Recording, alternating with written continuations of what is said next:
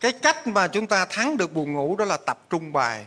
Cái thứ nhất, cái thứ hai là lựa ngồi như thầy tám này nè. Sát cái người dạy chừng nào mình không buồn ngủ chừng nấy. Vì sao? Ở trước mặt mọi người làm sao ngủ? Cái cái cái nhân linh mình nó khôn lắm. Hiểu không? Ý thức, liên tục ý thức chứ không phải không đâu. Là ngồi trước mặt mọi người mà sát mặt ông thầy vậy làm sao ngủ?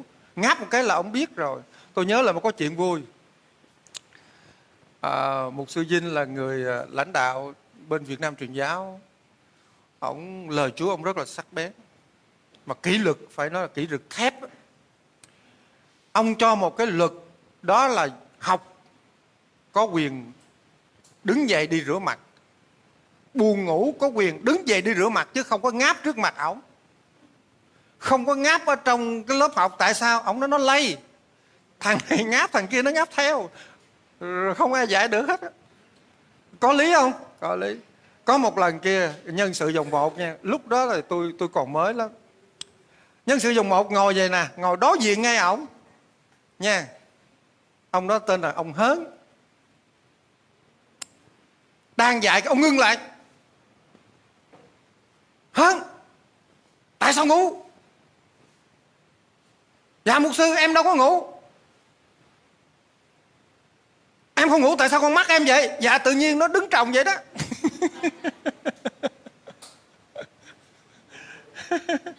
Ông ngủ cái kiểu gì không biết nữa. Nó giống như ông ngồi ông ngồi vậy nè. Có nghĩa là từng cử chỉ một. Không ngủ. Ví dụ mà đang học có buồn ngủ mình có quyền đứng dậy. Thật sự mình đứng dậy mình khởi động một cái là, là hết buồn ngủ rồi. Chạy xe cũng vậy đó. Chứ đừng cố ngồi. Cố ngồi chống càm mà chống con mắt lên nó càng sụp xuống và tập trung bài là tốt nhất, là biện pháp tốt nhất. Coi như lúc hài hước một tí, cười cho nó đỡ buồn ngủ. Chủ đề 2 làm thế nào mà kinh thánh đã có và tại sao? Đây là một trong những điều mà chúng ta biết mục đích kinh thánh để làm gì. Làm thế nào mà kinh thánh đã có và tại sao? Một một La Mã đó là có ba cách mà Đức Chúa Trời bày tỏ chính mình Ngài với loài người. Có ba cách. Có ba cách mà Đức Chúa Trời bày tỏ chính mình Ngài với loài người. Thứ nhất là qua tạo dựng. Bởi sự tạo dựng thế giới này người ta biết được và nhất là cơ đốc nhân được biết được Ngài bày tỏ quyền năng của Ngài, Ngài bày tỏ chính mình Ngài là đấng như thế đó. Thi Thiên đoạn 19 câu 1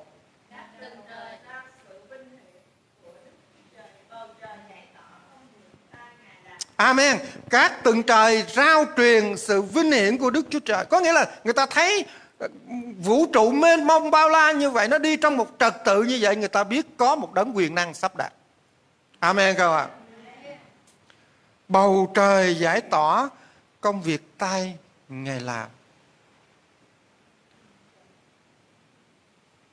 Ngôi sao và các hành tinh đi theo một trật tự nhất định, theo một quỹ đạo mà Đức Chúa Trời đã lập riêng cho nó. Nó không bao giờ thay đổi vận tốc và hướng đi. Có một hành tinh nào thay đổi vận tốc và hướng đi, lập tức trái đất mình có sự cố.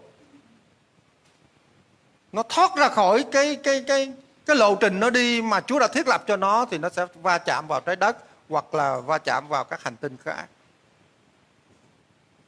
Roma đoạn 1 câu 19 câu 20. Vì điều chi có thể biết được về Đức Chúa Trời thì đã trình bày ra cho họ. Đức Chúa Trời đã tỏ điều đó cho họ rồi. Bởi những sự trợ này của Ngài mắt không thấy được, tức là quyền phép đời đời và tổ tánh Ngài. Thì từ buổi sáng thế vẫn sợ sợ như mắt xem thấy khi người ta xem xét công việc của Ngài, cho nên họ không thể chứa mình được. Amen. Quý vị có hiểu rằng các cái nhà mà khoa học lúc còn trẻ tuổi ờ, trẻ tuổi đó, thì họ chưa có chấp nhận cái lẽ thật về sự tạo dựng của Đức Chúa Trời. Kể cả là con người đến từ đâu nữa. Nha. Họ luôn luôn họ họ họ họ, một số thì chống nghịch lại, một số thì để đó không có chối cãi gì hết nhưng mà trở về khi mà họ luống tuổi họ có kinh nghiệm, họ có đủ thời gian để nghiên cứu về thiên nhiên tự nhiên. Họ mới thốt lên một câu, chỉ có đức chúa trời mới làm được điều đó thôi. Amen không ạ? À? và những người khoa học, nghiên cứu khoa học, nhất là vũ trụ, phần đông, về cuối cuộc đời họ tin là có chúa. Họ tin đấng tạo hóa đã thiết lập nên vũ trụ như vậy.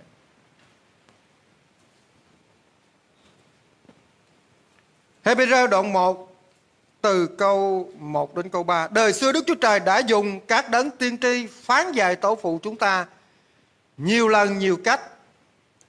Rồi đến những ngày sau rốt này, Ngài phán dạy chúng ta bởi con Ngài. Là con mà Ngài đã lập lên kế tự muôn vật. Lại bởi con Ngài mà đã dựng nên thế gian. Con là sự chói sáng của vinh hiển Đức Chúa Trời và hình bóng của bổn thể Ngài. Lấy lời quyền phép, Ngài nâng đỡ muôn vật sau khi con làm xong sự sạch tội, bèn ngồi bên hữu, đấng tôn nghiêm ở trong nơi rất cao. Cái điều mà Chúa bày tỏ thứ hai đó là qua Chúa Giêsu Christ. Chúng ta lưu ý trong bài học. Thứ nhất là qua vũ trụ qua sự tạo dựng trời và đất cái thứ hai mà đức chúa trời bày tỏ cho con người biết sự vinh quang của ngài đó là qua con một của ngài là chúa giêsu christ đúng không ạ à? có đúng trong bài học không ạ à?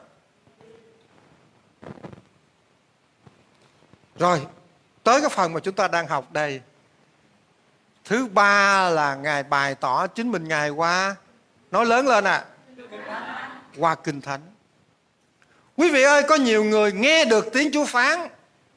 Nói thầy Lâm ơi, mục sư Lâm ơi, tôi nghe được tiếng Chúa phán thế này thế nào à, theo như quý vị là chúng ta tin không?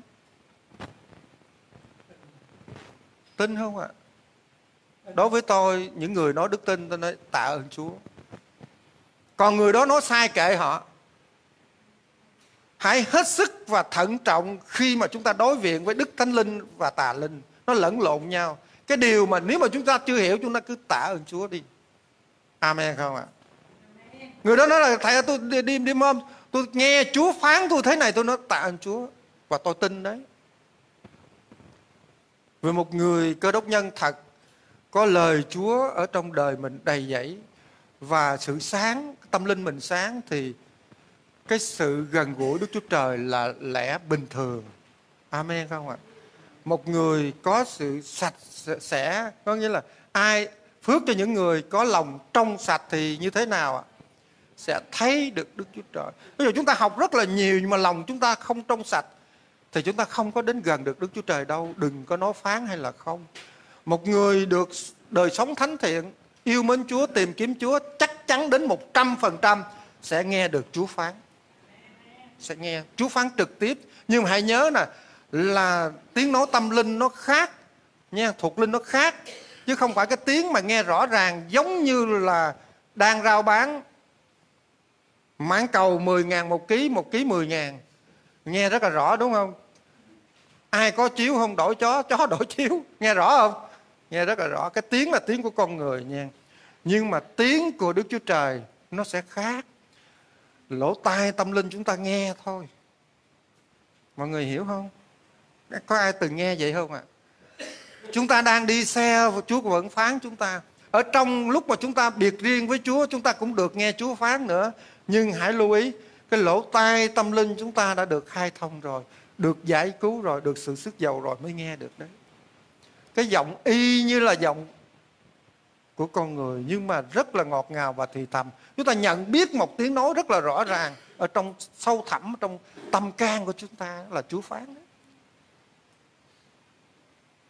mọi người hiểu chưa và cái điều mà thông dụng nhất mà lớp học mình cũng như những người đang theo dõi trên mạng đó lưu ý, để rồi chúng ta có đầy hy vọng, để rồi chúng ta biết chúng ta luôn luôn có điều kiện, đó là Chúa phán qua kinh thánh. Chúa phán qua kinh thánh có nghĩa là có những lúc chúng ta không được trong sạch, Chúa vẫn phán được. Có những lúc chúng ta đang ở trong tội lỗi, Chúa vẫn phán được. Amen không ạ? à? Vì nếu mà chúng ta đang tội lỗi mà Chúa không phán được chúng ta làm sao chúng ta thay đổi? Mà Kinh Thánh có chép rằng bởi lời của Đức Chúa Trời chúng ta được thánh hóa. cho nên khi mà chúng ta đang phạm tội gì đó lời của chúa sẽ cáo trách lời của chúa sẽ nhắc nhở chúng ta mới quay đầu được chứ. Amen chưa? Chứ không phải. Cho nên ba cái điều mà chúng ta nghe lời chúa phán cái điều thông dụng nhất cái điều chúng ta tạ ơn chúa chúng ta có cơ hội để sửa đổi đó là kinh thánh cái thời gian chúng ta đọc kinh thánh, có thể chúa phán qua chúng ta nữa. Mà nhiều nhất là chúa sẽ phán dạy chúng ta trong lúc chúng ta học kinh thánh. Học kinh thánh. Hiện giờ quý vị cũng đang học kinh thánh đấy. Nhưng mà cá nhân mình học kinh thánh mới là tuyệt vời. Bây giờ thì tôi hướng dẫn quý vị. Cũng có đức thánh linh dẫn dắt tôi nữa chứ. Vì quý vị vì lớp học cầu nguyện cho tôi đúng không ạ? À? có cầu nguyện không? Nên tôi ngày hôm nay rất là được phước. Quý vị sẽ không cần một ông thầy nào. Nhưng mà chúng ta biệt riêng, chúng ta học kinh thánh với đức thánh linh, lúc đó càng tuyệt vời hơn nữa. Amen chưa ạ? Lớp trưởng nhắc giờ nghỉ ngơi nha. Đâu lớp trưởng đâu rồi? Tôi dạy là tôi không có canh giờ đâu, nó mất tập trung. Có quyền nhắc nha. Có quyền nhắc ra dấu hoặc là cái gì đó. Tôi không nghe nữa, lấy viết, ném thôi. ai chứ lớp trưởng này làm làm thầy cả lúc trước tôi giao cường á nghiêm túc lắm. Đến giờ tôi đang giảng dạy thầy hết giờ. À, xin lỗi mọi người tôi ngừng.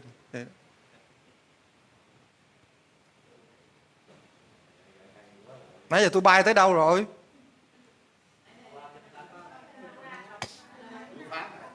Qua kinh thánh. Hai lớn là cách sắp đặt của kinh thánh lúc nãy tôi đã mới đầu chuẩn bị vào lớp học tôi đã giới thiệu sơ về đặc biệt kinh thánh cách sắp đặt kinh thánh thứ nhất là được viết bởi 40 người và trên 1.600 năm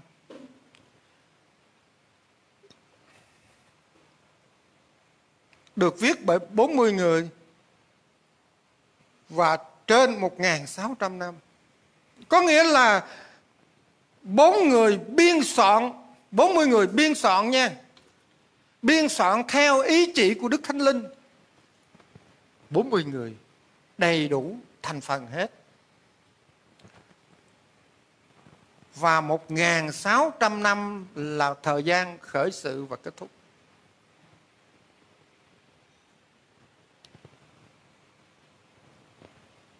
Cựu ước có 39 sách.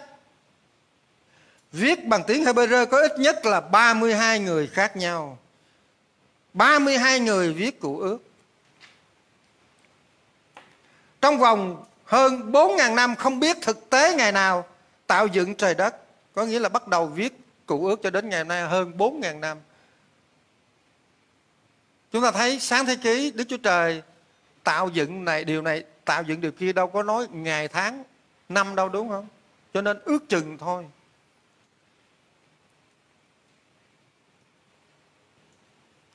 được chia ra làm sáu phần.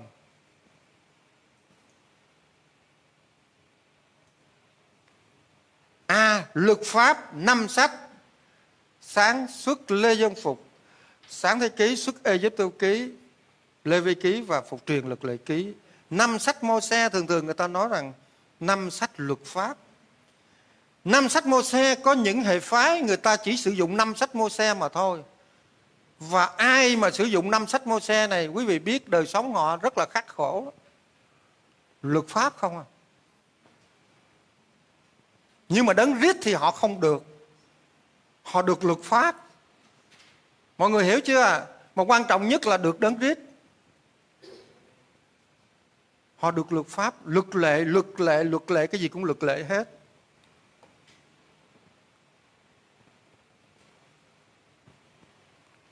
Lịch sử có 12 sách, đó là Jose, quan xét, Router. Ở trong trong tay chúng ta có tài liệu, chúng ta không cần ghi đâu, đúng không ạ?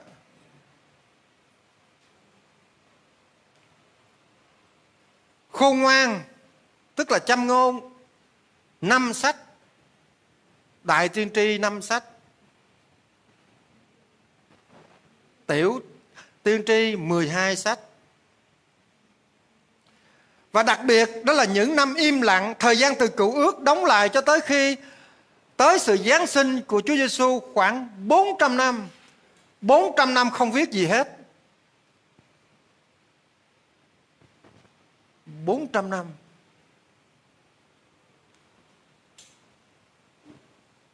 Những năm im lặng Thời gian từ khi cựu ước đóng lại Cho tới viết tân ước là 400 năm, Nó dễ dễ hiểu không?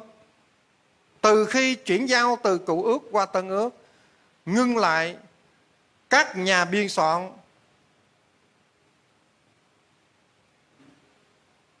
Nghỉ làm việc. Không biết lúc đó có bị đại dịch gì không? Tạm ngưng hết các hoạt động 400 năm.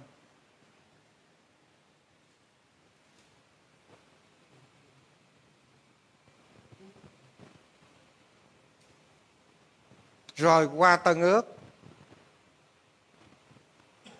Tân ước chắc ai cũng nhớ là 27 sách đúng không ạ? À? Tân ước 27 sách. Được viết bằng tiếng Hy Lạp có 8 người viết. Sách đầu tiên là sách Gia Cơ, 50 năm sau Chúa Giáng sinh. Sách đầu tiên ở trong Tân ước chúng ta tưởng là sách này sách khác nhưng không, lại là sách Gia Cơ. 50 năm sau khi Chúa Giáng sinh ra đời sách Gia Cơ. Nó dễ hiểu không? Tôi nhắc lại, ngồi trong trường Kinh Thánh điều quan trọng nhất là học đến đâu, hiểu và nhớ đến đó. Đừng có ý vào tài liệu về xem lại coi chừng mình bị tụt hậu đó cho nên tôi tôi hướng dẫn rất là chậm điều gì quan trọng tôi sẽ nhắc lại đừng có nói là tôi sẽ xem lại không đâu. 10% còn chưa có. Nên những người mà học qua mạng, mình thương họ họ không có điều kiện. Và họ nói rằng, xong việc tôi sẽ xem lại. Theo như quý vị, họ xem lại hết. Nổi không? Vì sáng mình học tới chiều tối. Không được đâu. Không được đâu. Cho nên ghi nhớ những cái điều mà nó phục vụ cho cá nhân mình, phục vụ cho chức vụ mình lập tức ghi ngay, nhất là những người đang làm công công việc của Chúa rồi mình ghi, mình sẽ nhớ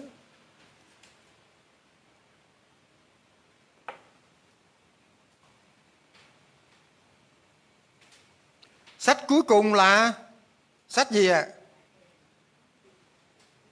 Viết xong 96 năm sau Chúa Giáng sinh. Có nghĩa là Chúa Giêsu Giáng Chúa Giêsu Giáng sinh xong 96 năm viết xong khách khải quyền. Tường thuật trong vòng 100 năm. Chia ra 5 phần. Tin lành 4 sách Matthew, Mark, Luca và Giăng lịch sử công vụ sử ký nhất sử ký nhì giống như là kể lại những cái cái cái, cái công việc mà con dân Chúa và Đức Chúa Trời làm ở trên dân sự của Chúa đó là lịch sử ở bên Tân ước cũng có lịch sử nữa đó là công vụ ghi chép lại những những điều mà Chúa Giêsu cùng các môn đồ làm ghi chép lại kể lại Thư tín của Phaolô gồm có 14 sách. Thư tín của Phaolô gồm có 14 sách. Thư tín tổng hợp gồm có 7 sách, trong đó có gia cơ. Và cuối cùng là lời tiên tri. Lời tiên tri được chép trong sách nào?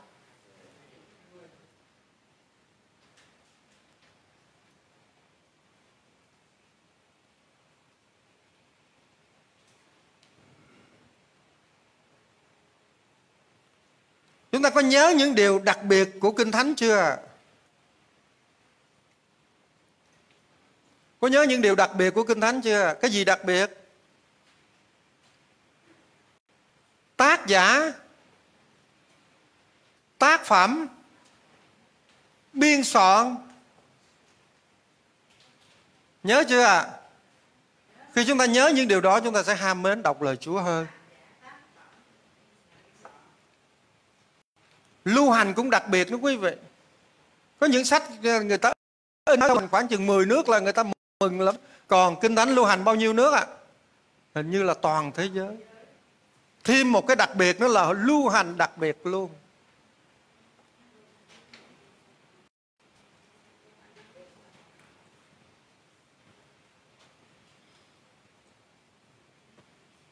Hết một chủ đề hai rồi đó, thầy hùng. Tiếp hay là hay là nghỉ xa hơi? Một chủ đề không cần dài đâu, người ta sẽ theo dõi rất là tiện. Và người ta sẽ yêu ờ, trần hùng hơn. Quý vị tin là một sư trần mạnh hùng không?